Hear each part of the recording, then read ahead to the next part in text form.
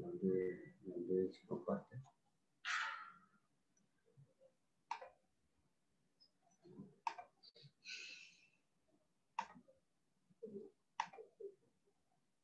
Bueno, entonces vamos a... No veo dónde es que se comparte. Ah, ya, ya, ya, ya.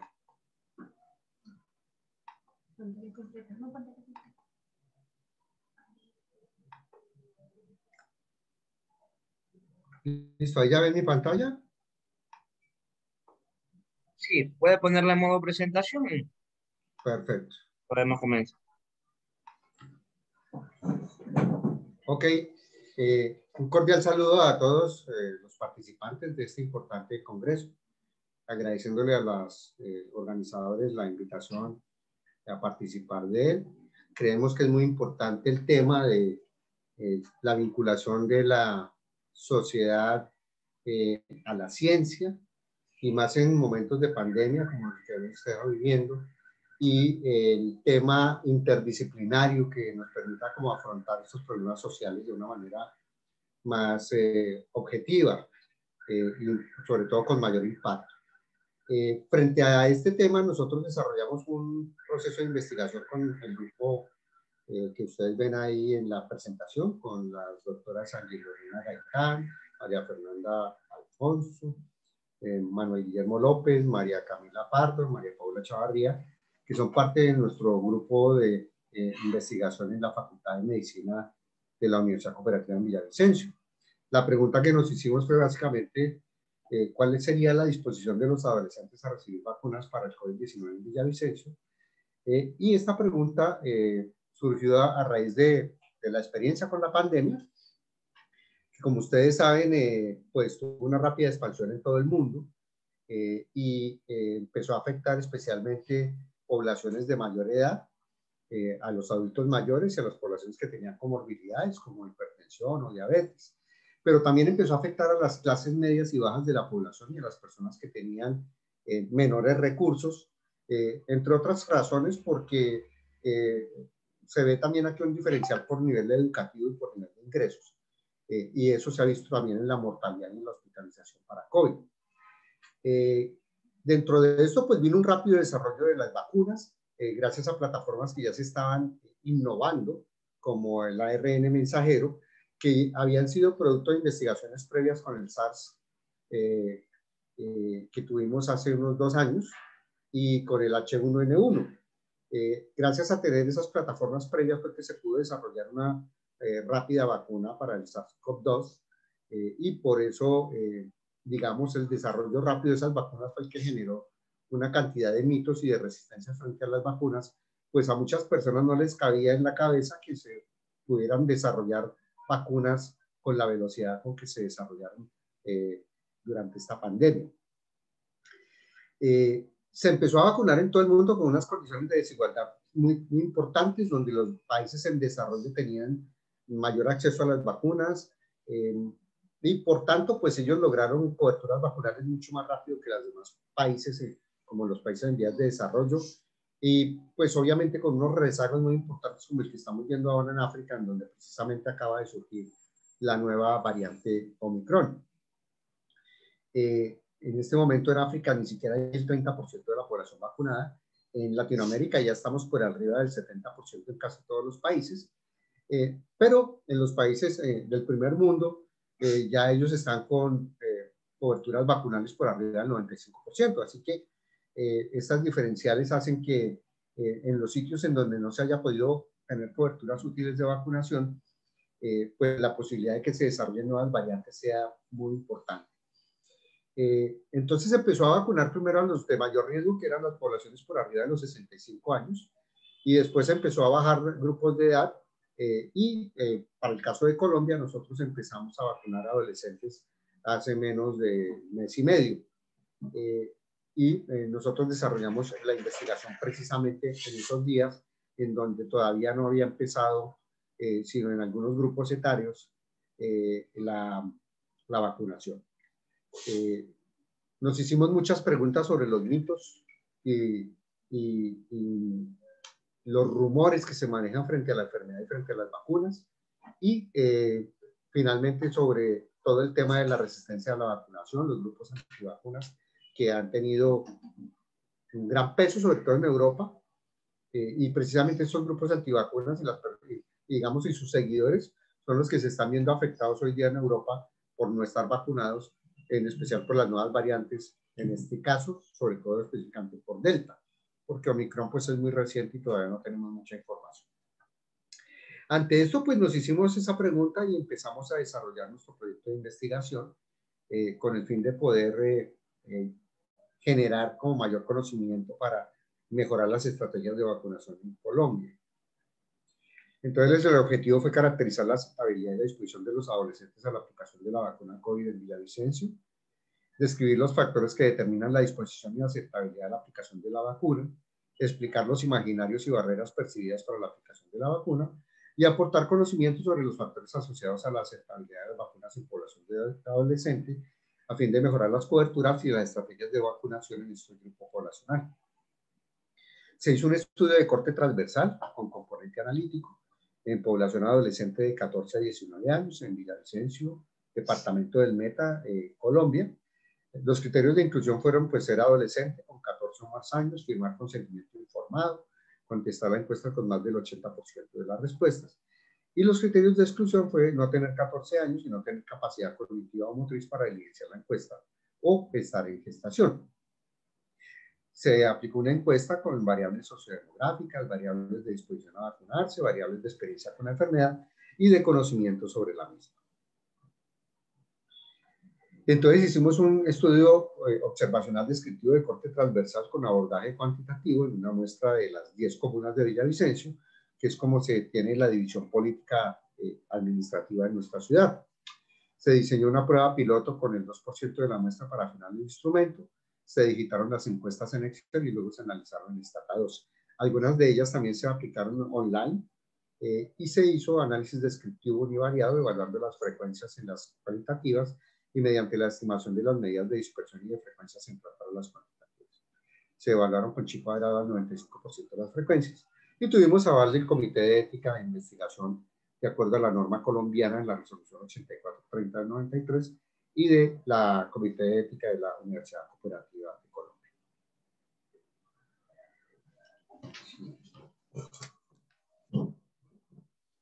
Muy buenas tardes.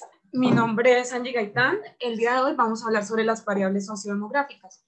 Entonces, con respecto a la, variable edad, vemos que eh, de todas las personas encuestadas, un 6.9% de estas personas tenían, eh, tenían menos de 14 años, un 76.2% tenía entre 15 y 17 años y un 16.9% tenían entre 18 y 19 años. Con respecto a esto eh, y al sexo, vemos que eh, eran más, o sea, fueron más las mujeres eh, encuestadas en comparación con los hombres. Las mujeres con un 54.83 eh, y los hombres con un porcentaje de 44.83.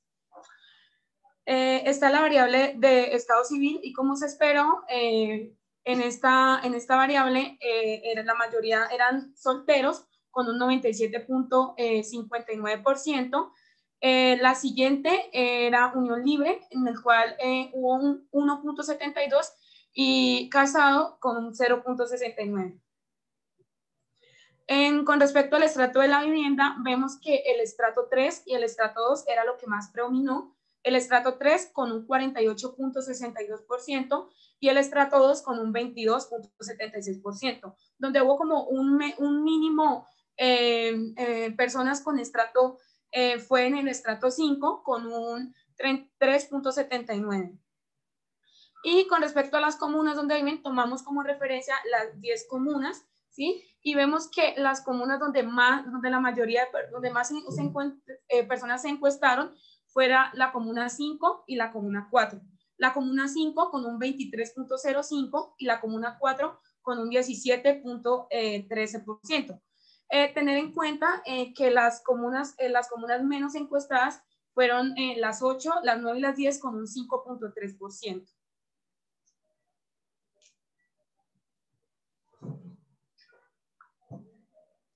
Hola, buenas tardes. Continuando con variables, tenemos el nivel, el nivel de ingresos mensuales por familia en el cual destaca principalmente con un promedio de 45.52%, eh, de 1 a 3 millones, en dólares serían de 250 a 250, 750 dólares, y siguiéndole tenemos un promedio de 36.21%, que serían menos de un millón, que serían menos de 250 dólares, que hablaríamos aquí en Colombia eh, como el salario mínimo que manejan. Siguiendo con el nivel educativo y el abandono de estudios en pandemias, entre los encuestados, el nivel educativo eh, mayor, el promedio 90%, eran de colegio básica media, aquí conocido en, colegio, en Colombia como bachillerato, y un 10% del resto de universitarios. Eh, dentro de estos encuestados y su nivel educativo, tenemos que un 83.1% no abandonó sus estudios o trabajo durante la pandemia, en cambio un 16.9% sí abandonó sus estudios y también trabajo eh, por la pandemia. Eh, hablando del régimen de afiliación, tenemos aquí como una comparación entre el régimen contributivo subsidiado especial en cuanto al régimen contributivo con un 43, 47% eh, y un régimen subsidiado con un 45%. Hay una diferencia del 2% entre esos dos regímenes. Y pues ya destacando por último un 8%, el cual los encuestados pertenecen al régimen especial. Listo.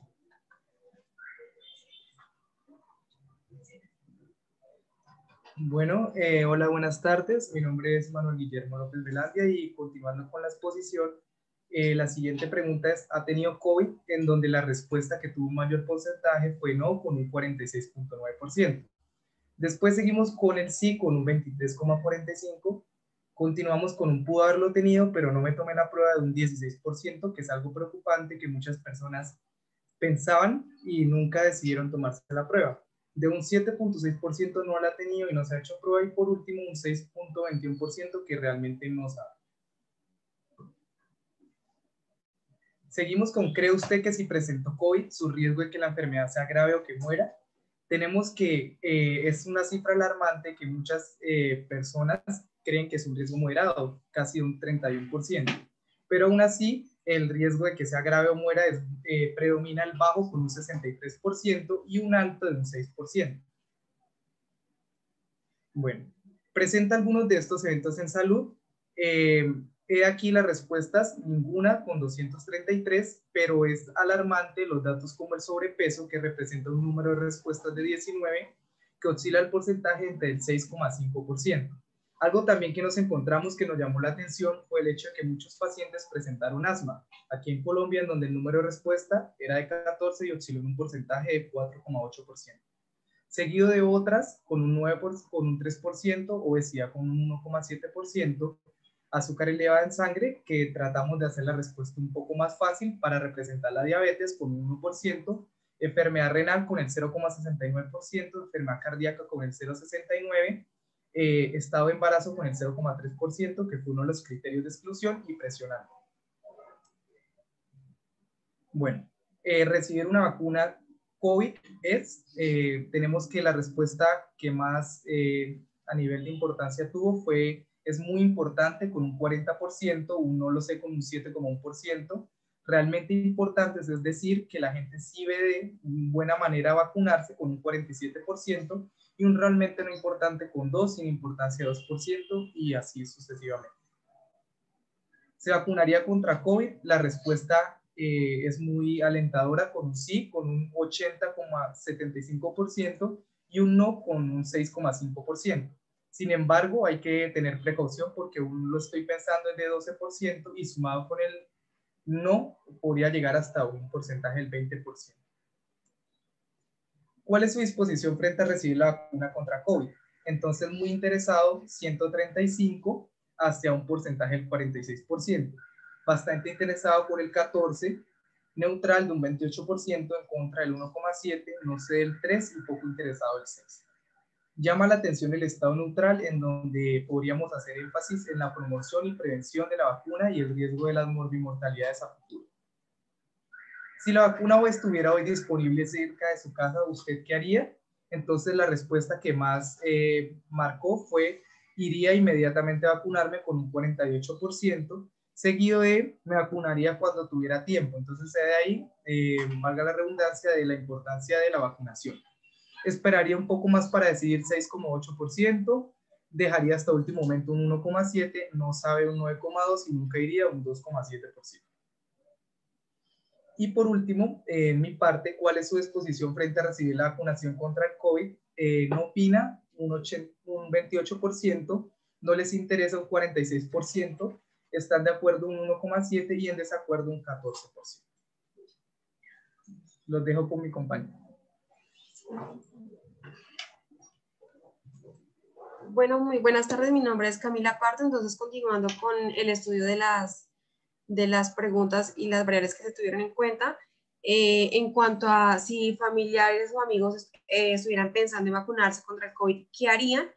Eh, podemos evidenciar que la mayoría, que casi la mitad, casi la mitad mm, de la población encuestada, contestaron que los motivarían, lo que equivale a un 40,5%, el 30,2% los animaría fuertemente y podemos evidenciar que el 21,99% eh, no diría ni haría nada al respecto y eh, un 4,8% no sabe qué, qué, decisión tomar o, qué decirles a sus familiares. En cuanto a la pregunta de si se ha vacunado contra el COVID o no, eh, podemos evidenciar eh, que la mayoría de la población a la cual fue dirigida la encuesta contestaron que no, eh, 191 personas contestaron que no y 100 personas contestaron eh, que sí se han vacunado. Continuando con la pregunta de si la respuesta, anterior fue no, o sea, que no, ha recibido la vacuna contra el COVID-19 y de si piensa, piensa vacunarse, podemos evidenciar que el 86% eh, está de acuerdo en vacunarse y, muy, eh, y 13, el 13,6% no, no piensa vacunarse. En cuanto a la pregunta de si los familiares eh, han presentado COVID, podemos evidenciar que el 68,4% de los familiares de las personas encuestadas contestaron que sí y el 31,5% no han presentado COVID. Bueno, entonces ya los dejo con mi compañero. Bueno, buenas tardes, mi nombre es María Fernanda Alfonso y bueno, vamos a entrar en el tema de mitos ante COVID-19. Como nos comentaba el doctor, eh, recogimos algunos mitos muy frecuentes o muy escuchados en Colombia, especialmente en nuestra ciudad en Villavicencio, y ante esto eh, revisamos. Primeramente preguntamos si realmente las personas creen en el COVID-19, ¿sí? Porque eh, puede ser que piensen en vacunarse, pero no se sabe si realmente lo creen. Entonces, eh, respecto a esta, a esta pregunta, el 95.52% nos dijo que sí creían en el COVID-19 y solamente un 13%, eh, unas 13 personas nos dijeron que no creían. Bueno, eh, uno de los mitos más, más escuchados es si la vacuna o el COVID fue creado para ganar dinero o hacer política, ¿sí? En el cual solamente el 64, 14% nos respondió que no, que no creen que esta fue creada para, para dichos motivos. Frente a si esto es, capaz o puede causar la esterilización eh, o afectar la fecundidad, en especial pues, en la mujer, eh, nos respondió el 92,76% que no lo cree. Antes si esta podría tener algún tipo de tecnología, o como también lo han llamado, tipo de chip, que podía afectar la salud o el bienestar de la persona, el 87.24% nos dijo que no creían en este mito, pero un 12.76% nos respondió que sí. Frente a algunas situaciones o enfermedades que nos podrían causar la vacuna después de aplicarlas, eh, nos respondieron que podían causar eh, enfermedades cardíacas en un 5%, enfermedades eh, ante la coagulación de sangre, un 5%, alteraciones menstruales, o de la fertilidad un 2% y enfermedades neurológicas en un 2%. 8% de la población cree que puede causarle todas las enfermedades que nombramos y el 78% cree que ninguna de estas. Eh, igualmente preguntamos cómo creen ellos que impactaría la vacuna frente a la muerte eh, en algunos meses o años y el 83,79% nos respondió que no. Finalmente, eh, si preguntamos que la vacuna post-vacunación podrían enfermarse por COVID-19, el 62% nos respondió que no, que sí podrían enfermarse luego de la vacunación, pero un 38% cree que no, se, enfermaría después de vacunarse. Ante la medida, eh, preguntamos igualmente si las personas eh, creían que pueden dejar de cuidarse con métodos como el tapabocas o el distanciamiento. El 85,17% nos respondió que no eh, deberían dejarse de cuidar, pero un 14,82% nos respondió que sí, o sea que ellos creen que realmente se, son inmunes con la vacuna. Y ya para finalizar, preguntamos igualmente si las personas creían que necesitarían más dosis para poder estar protegidos o totalmente inmunes, ante las cuales el 30,34% nos respondió que sí, creen que, puede, que necesitan más dosis para ser inmunes y el 69,65% nos respondió que no. Muchas gracias. Bueno, como ustedes acaban de, de ver los resultados de nuestro estudio, eh, nos muestran eh, que evidentemente sí ha habido un eh, gran impacto en la desinformación a través de los mitos y rumores frente a la enfermedad. Eh, esto no es un hallazgo solamente colombiano, es un hallazgo que ya se había encontrado en Estados Unidos, sobre todo en las regiones del norte de Estados Unidos, en estudios previos. Eh, se había visto también en Israel, que como ustedes lo saben, fue uno de los países que mayor cobertura de vacunación logró más rápido. Y también lo habíamos observado en estudios chilenos, en donde en especial con poblaciones jóvenes y adolescentes encontraban una importante resistencia a la vacunación como producto de los mitos y rumores. Eh, Colombia eh, no es la excepción y en nuestro grupo poblacional estudiado eh, llama mucho la, la, atención porque son, digamos, esta población de las que más utilizan las redes sociales, Instagram, Facebook, WhatsApp, ahora TikTok, de tal suerte que la difusión de estos mitos y rumores es mucho más rápida, mucho más, digamos, impactante para este grupo poblacional. Y más aún cuando, digamos, su inmadurez, tanto psicológica como afectiva, pues puede hacer que ellos tengan una mayor probabilidad de que crean eh, estos mitos y rumores mucho más fácil. Eh, en promedio encontramos una, eh, un 15% de personas que no están dispuestas a vacunarse, que no creen que el COVID exista y que creen en general en los mitos y rumores frente a la vacunación. en Colombia y en el caso de Villavicencio, nosotros empezamos el esquema de vacunación en adolescentes hace 22 días eh, y apenas hemos logrado eh, un 36% de coberturas vacunales en este grupo poblacional, por lo cual los resultados de este estudio ya se están eh, difundiendo, sobre todo a nivel municipal, a fin de que podamos desarrollar estrategias tanto de trabajo social como de comunicación, como de salud pública, para que podamos eh, eh, lograr un impacto mucho más importante eh, en la vacunación en este grupo poblacional y que también este impacto tenga, digamos, resonancia para los demás grupos poblacionales, en especial para los niños que ya empezamos a vacunar de 3 a 11 años y para algunas personas adultas jóvenes del grupo por debajo de los 30 años que todavía se resisten a vacunarse. Eh, entonces es un llamado como a la acción interdisciplinaria, transdisciplinar, es un compromiso social y es un compromiso también que eh, va por fuera del sector salud, eh, aunque pues es básicamente su responsabilidad, pero tiene que ver mucho la parte de, comunicaciones, la forma en que enviamos el mensaje.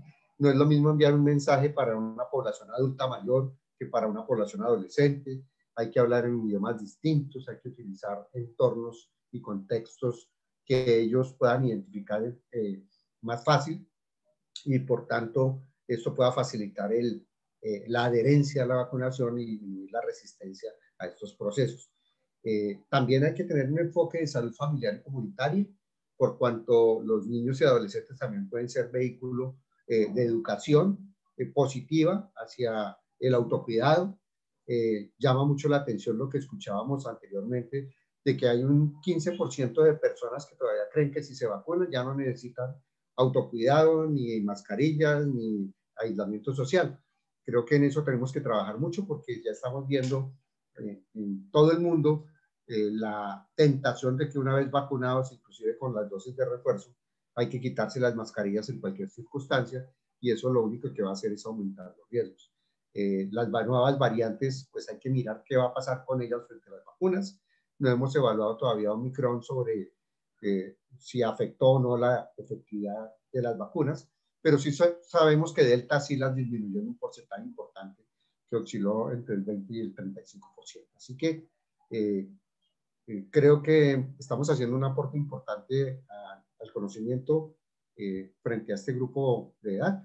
Y creo que esta vinculación con esos grupos que a veces eran como invisibilizados, como los adolescentes, a los que creíamos que no les daba nada, que no les pasaba nada, que en el sector salud casi que no teníamos ningún programa para ellos, pues es muy importante ahora que los tengamos en cuenta como un grupo eh, valioso y que es susceptible eh, de enfermarse también de las cosas más usuales.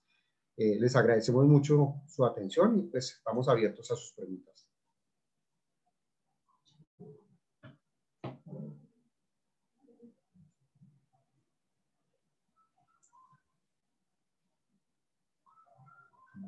De la